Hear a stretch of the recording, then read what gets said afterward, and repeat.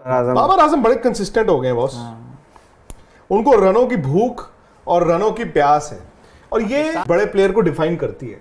Again Babar आज़म का वक्त आएगा। अभी आप उनको पूरी तरह से जज मत कीजिए बट उनकी रनों की भूख जो है ये आपको याद कराती है जब एक यंग सचिन तेंदुलकर आए थे या एक यंग विराट कोहली आए थे। जब यंग सचिन तेंदुलकर आए थे उस टीम में कई सीनियर प्लेयर्स थे बट रन सचिन ने ही बनाए थे।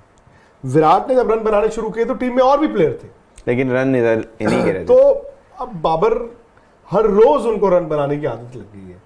आपको हर रोज रन बनाने की आदत लग जाती है। हर फॉर्मेट अच्छा हाँ हर फॉर्मेट में और Yes. हर रोज तो ठीक है हर अलग अलग फॉर्मेट में। देन यू विराट ने ऐसे किया ना test matches one day T T twenty तीनों हाँ। हर फॉर्मेट में। और बाबर के पास क्या है? बाबर क्योंकि जैसे विराट जो रूट वगैरह से उम्र में छोटे भी हैं तो बाद में ही क्रिकेट खेलनी शुरू की है।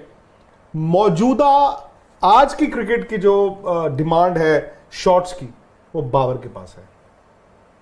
एक सवाल ये भी था कि बाबर आज़म की कमज़ोरी क्या है? मतलब किन ज़्यादातर गेंदों पे आउट होते हैं? किस तरह के बॉलर आपको क्या लगता है उनके खेल के हिसाब से? अब मुझे नहीं पता। मैंने यही बोला था हमने उतना उनको नहीं देखा है। फॉलो उतना नहीं किया है बॉल बाय बॉल खेलते मैंने जितना देखा उसमें एक तो इंस्विंगर वो कोई कोई सभी को परेशान करती है थोड़ा बहुत असहज दिखते हैं उसमें और कई बार बॉल जब एक्स्ट्रा बाउंस हो जाता है ना, वो जज उस तरह से हो नहीं पाता। वो तो